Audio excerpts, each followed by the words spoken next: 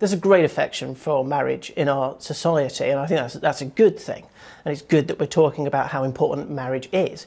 But you can't change its meaning without that having an impact on, on marriage itself. And equality doesn't mean sameness, it doesn't mean that everyone has to be the same. You can have equality and still retain traditional marriage we look at other countries that have gone down this road, it's had an impact on language about parents, for example. In, in Spain, they had to change birth certificates, so now it says progenitor A and progenitor B instead of mother and father. marriage is so much part of everyday life, it's so woven into our society that if we change its meaning in law, it, it will have a knock on effect in everyday life. Because all the rights of marriage or the legal rights and the economic advantages are available through civil partnerships anyway. So it's not about rights. Uh, this issue is about redefining marriage. And we say marriage has been the most successful partnership in history. It's served the country well for thousands of years.